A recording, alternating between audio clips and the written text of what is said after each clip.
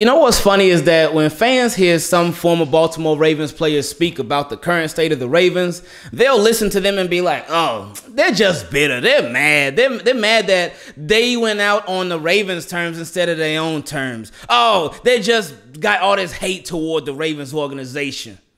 And then there will be other players that when they speak, fans listen and they listen good. And one of those players is none other than our friendly neighborhood superhero. Ed Reed, who was on the Great Dane podcast, and he had a lot to say about the current state of the Baltimore Ravens. And he talked about film study. He talked about not even just with the Ravens, but he said that's just so important film study because in college, a lot of these players are not being taught the right way how to study film. He spoke about how him and Ray Lewis, they used to be up like crazy at like 2, 3 in the morning just studying film. And when you look at how many plays the both of those two made, it makes sense. It, it, makes a whole lot of sense. He talked about leadership. He talked about different players on a team who are in maybe younger players' ears, but those younger players respect those leaders and that it makes such a big difference. He talked about with the Super Bowl that year in 2012 when they finally won it.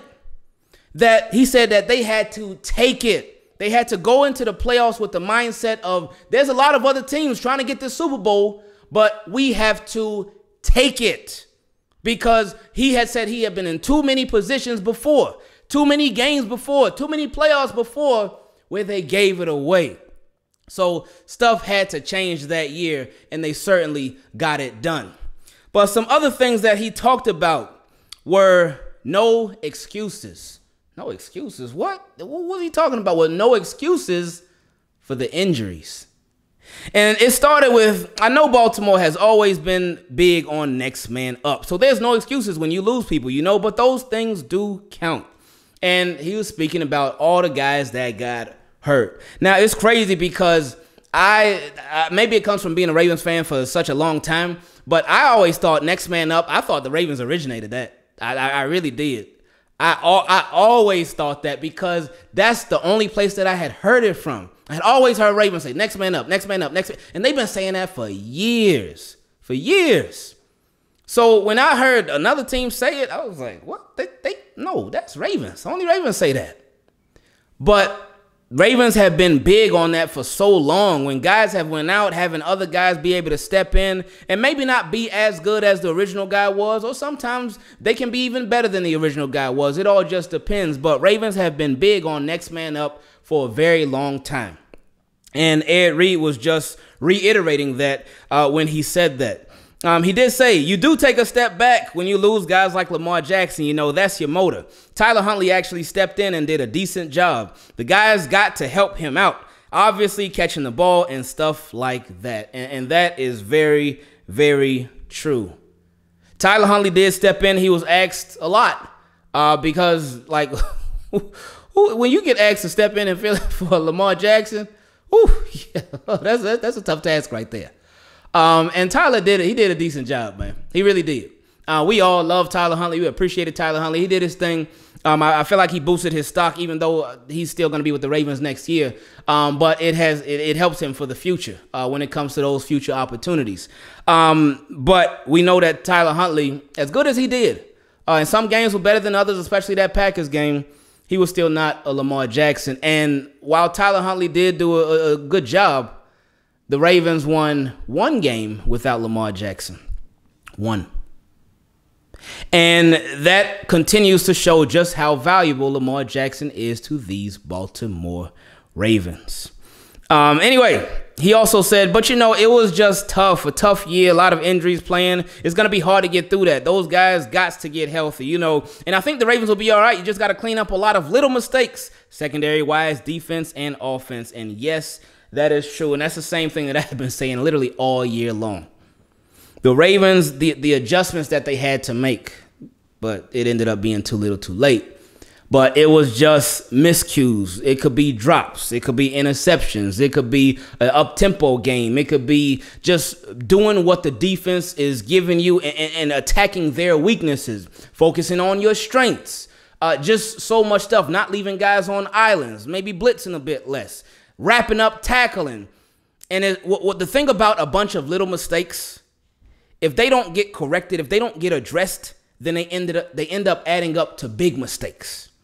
And then it just gets to a point where it's like, ah, you you you can't do anything about that. And and it becomes too little too late. And that's exactly what happened to the Ravens. It became too little too late. One of those things that I felt like they could have done a lot better job of would be we, saw you didn't without Lamar you didn't win. Well, you won one game, but basically without Lamar you didn't win. You were losers without Lamar Jackson. And we know that hey, with Lamar Jackson, the Ravens invested so much into Lamar Jackson. He is not, not invested as far as building around him, but I mean, they are very invested in Lamar Jackson as a player. He is their offense. He they live and die by Lamar Jackson. And when he was out, they died. So when you lose that player who is literally your everything, of course you're going to take a step back. But if you take a step back and you have your backup, first game, okay, I can understand if you lose that one because you got blindsided by an injury, you got blindsided by him being out. If you lose your second game without your starting quarterback, okay. But then t- to lose six games straight and for five of those games to be decided by one score, most by like a couple of points. Inexcusable. Inexcusable. In this podcast, Ed Reed, he talked about the, the two point conversions. Uh, he talked about the heartbeat of the team. He said it's different when you're viewing the game as a fan, like when you when you're not actually there out there on the field. Uh, he talked about with, a, with some of those two point conversions. He said, because I know a lot of when I said it, a lot of people like, oh, no, Ingraven now. See that you don't know what you're talking about. Ed Reed said He said he would have played. For, he would have played for overtime. He said he said it, not me. Well, I said it too, but Ed Reed said that he would have played for overtime. He said because you as a player, you want an opportunity to play some more football. So he would have played for overtime. But again, make sure you listen to the podcast because there was a lot that this article and a lot that I, I it was a lot. A lot of good stuff as always cuz you know Ed Reed don't talk much, but when he does talk like, oh yeah, you listen. He don't really be saying nothing. Like Ed Reed ain't gonna be somebody that's talking, talking, talking, running his mouth. But when he does speak, he always dropping some gems. Uh, anyway, he said he also said um, about leadership.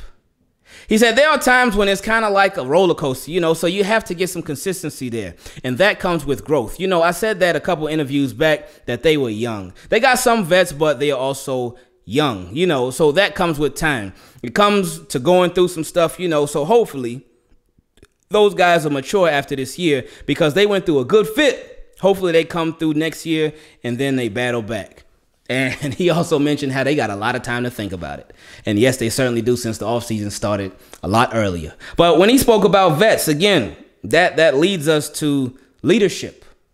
That leads us to leadership. And, and that is something that I feel like we don't talk about enough on here when it comes to these Baltimore Ravens. Different things that they lack, different areas where they lack. And I remember we had a question from subscriber a while back, and somebody talked about, man, with um with the Ravens, they were like, would would the departure of a Mark Ingram have a bigger impact than people realized?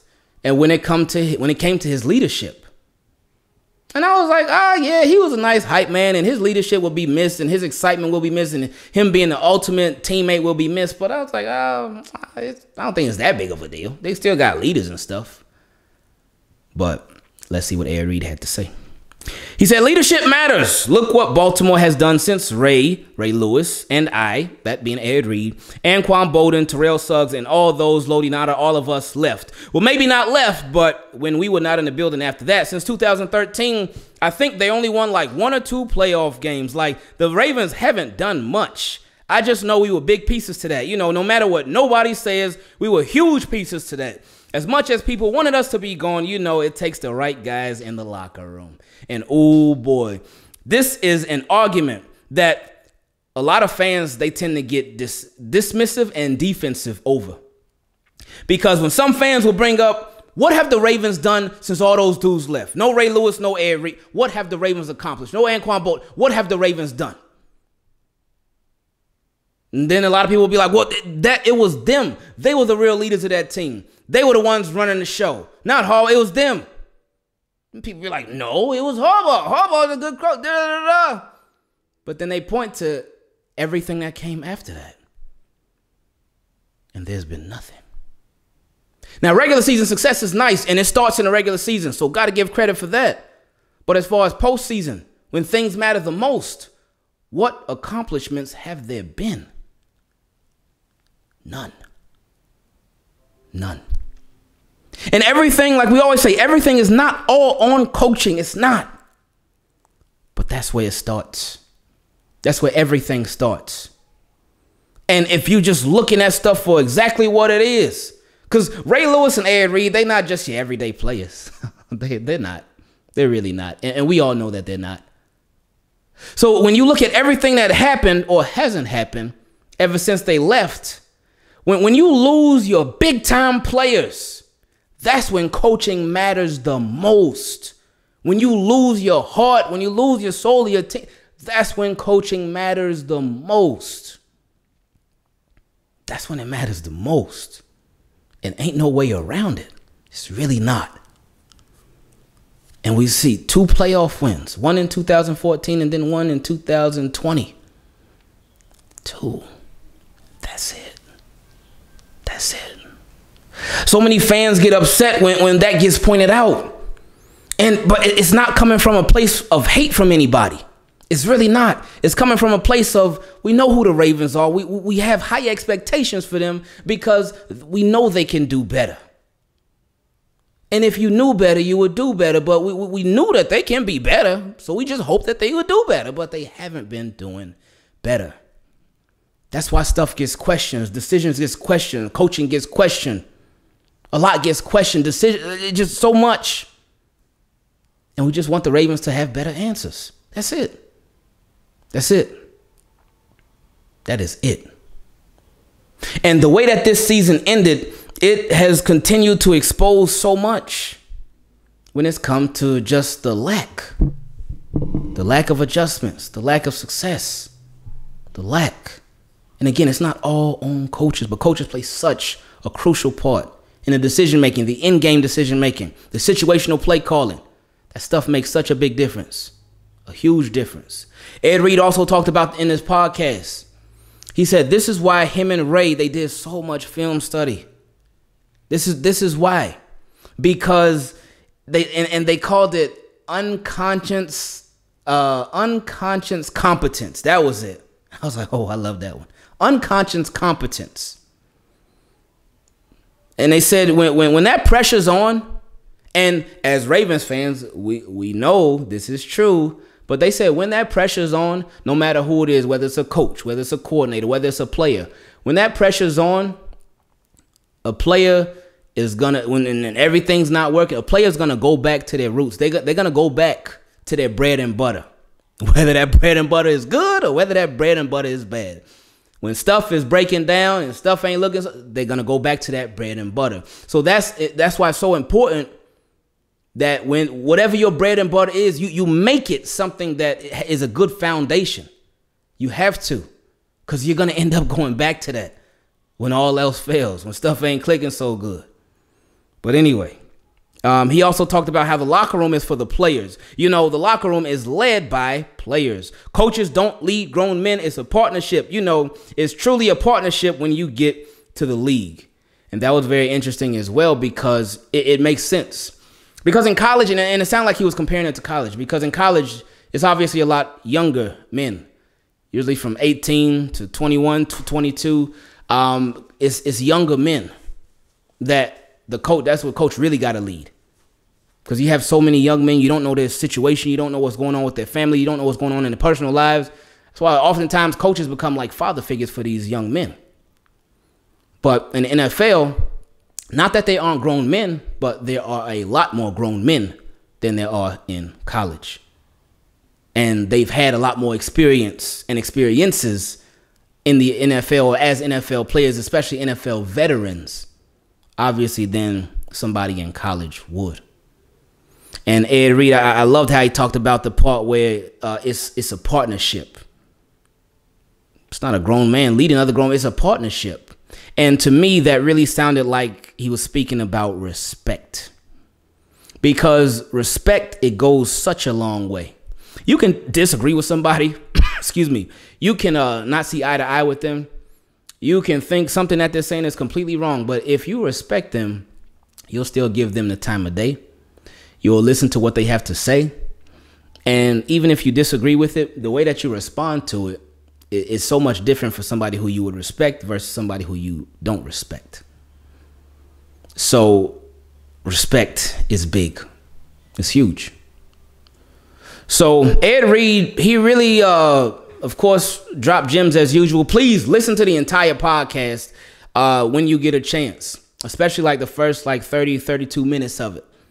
Um, because I know a lot of articles and stuff. Somebody may look at this article, oh man, they just took out this and that, and they just uh, like they only put in certain spots. No, this was this was not one of those articles where they misquoted Ed Reed or anything like that, where they made something worse than what it really was with Ed. No, this is exactly what he said. Is is how he said it. Nothing got altered or anything like that. No, this is this was it, and that's why I say, please listen to it for yourself so you can hear exactly what Ed Reed said because there's a lot more in there too.